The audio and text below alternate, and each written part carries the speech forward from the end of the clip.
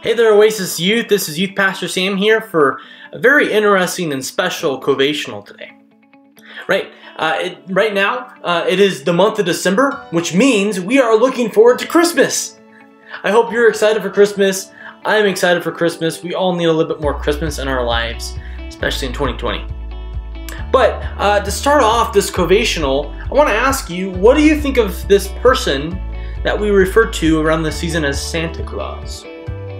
Santa Claus, right? Uh, Santa Claus is typically uh, uh, understood as, as an old jolly man uh, with a beard and uh, wearing red clothes. So he basically looks like me, except older and with white hair, right? A big, chubby, jolly man. I'm not very jolly all the time, but just a big, jolly man who goes around from house to house dropping off presents to the good children and coal to the bad children. And this is what he does. This is Santa Claus. You guys have probably most of you have, have been told about Santa Claus for a lot of your life. Right? But I want to ask you, what do you think about this Santa Claus person? Because typically, there's two two ways that you can two categories that you can fit in in this regard. Some people, on the one hand, believe that Santa Claus is a real person, that he must be real because I get presents underneath the tree that say Santa Claus, and therefore Santa must be real. And then on the other, ha- other hand, uh, the other side, you have, you know what, Saint Nick, this jolly Saint Nick, that's not a real person. It's not a real person at all. Uh, it, it's my parents who have been writing their name on the card, naming it Santa Claus and putting it there. I don't believe in Saint Nick. What if I were to tell you that both of those statements were both wrong? Right? Uh, well, let me, let me let me explain. So, on the one hand, Santa Claus, right? Santa Claus, we know that Santa Claus isn't real. Sorry to burst some bubbles, uh, uh, but Santa Claus is not a not a real person as far as fantasy is concerned, right? Santa Claus is uh, is an idea that was paired together with some other stories and tales that we just put together and said Santa Claus is all-knowing, all-seeing person who drops off presents, and it's really your parents or your grandparents. Sorry. But the second perspective, I don't believe in Saint Nick. Well, that's also wrong because there was actually a person named Saint Nick. In fact, uh, if you Google Saint Nicholas, uh, he is uh, known as Saint Nicholas of Myra. And Saint Nicholas was was one of the early Christians in the first few centuries of Christianity. And in fact, Saint there's a lot to be known about Saint Nicholas. A couple couple notable things is that one, he was actually imprisoned for his faith. He believed Jesus in a time when Jesus, when Christianity was persecuted, and he was thrown into jail. And then, in the middle of his time in jail, uh, a new emperor came into power, Constantine, and released him from jail. Right? He lived in the in the turning point of Roman history, as Rome became an unchristian society to a Christianized culture. And there's a couple things that are very interesting about this person, Saint Nick, and one of them is very interesting. It's actually one of my favorite stories, and you might be able to relate to this. Actually, if I was there, I might do the same thing he did, and I'll explain why. So, here's what happens.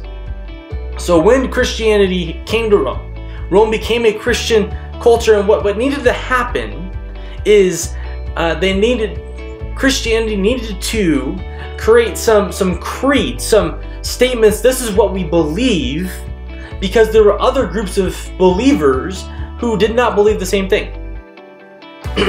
in particular, there was one group of people led by a guy named Arius who believed in what we call a heresy called Arianism. Arianism. And so, this guy named Arius would actually teach people hey, uh, yeah, you can believe in a lot of good things. Um, Jesus was a good guy, he was a good teacher, but he wasn't God.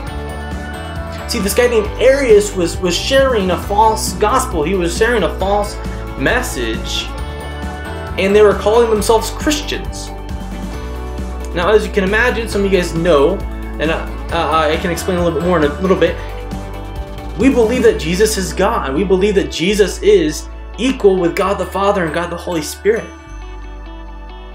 And this wouldn't fly with Saint Nick and the other believers uh, in the region. So what they did is they joined together. They got together for a council of Nicaea. It was a it was in a town called Nicaea. I don't know if it was a nice town or not, but it was just called Nicaea.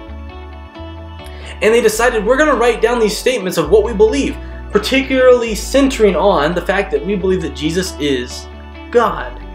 Right? They, they had different uh, scriptures that they used, right? Like John chapter 1, verse 1, where it says Jesus is God, right? Other statements in John where it talks about Jesus being God. And as they were writing these documents in the Council of Nicaea, Arius walks in. Arius walks in, he, he's there because he believes he's a leader in this Christian movement that he's not really a part of. And before he can sit down at the table, jolly old St. Nick gets up, goes over to Arius, and decks him right in the face. It is one of the most historic moments in early Christianity that jolly old Saint Nick punched a heretic. Why, why is it such a big deal? And what does that have to do with co the Covational? What does this have to do with Christmas? What does this have to do with anything? Well, I want to I want to point out why it's such a big deal. Right? Around Christmas time, what we celebrate is we celebrate the birth of Jesus. We, we celebrate the coming of Jesus Christ into this world. He was miraculously conceived by the Holy Spirit and was given to Mary, a virgin, who birthed Jesus into this world. And Jesus was in, in all ways God among us, that he was God with us. In fact, one of the names that they called Jesus. You can find this in Matthew chapter 1, verse 23. One of the names that they refer to Jesus as is Emmanuel, which means God with us. One of the issues that, that Arianism brought to Christianity is that if, if Jesus is not God, then God is not among us. Then God is not with us. And if God is not with us, then we are without hope. You see, the, one of the greatest parts about Jesus' divinity, Jesus walking among us, Jesus being born into this world, is that God cared enough about you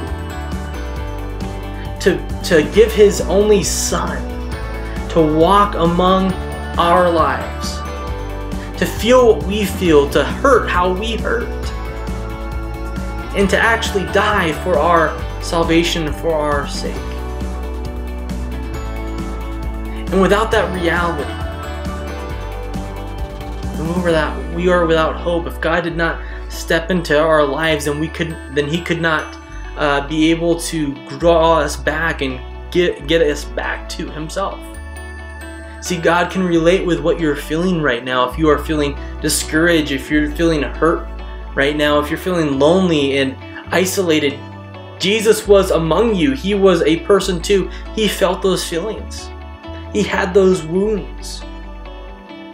God knows what you're going through because He was among you in Jesus Christ. And so next time you hear somebody say, hey, I don't believe that Jesus is God, I mean, don't, don't punch them in the face. But understand why Nicholas did it. Right? Because if God is not among us, if God did not walk among us as Jesus Christ, then we don't have someone who can comfort us, who can know what we're going through, who we can turn to for hope and for salvation. So may that be an encouragement to you. May that be a fun story that you share. May that be a trivia fact that you hold on to for the rest of your life. Hey, did you know that, that Santa Claus punched a heretic? Let me tell you why. Right? Hope you guys have a great, great uh, holiday season as we approach Christmas time. And I cannot wait to celebrate with you in, in all the ways that we do so. So, uh, you guys all take care and have a Merry Christmas.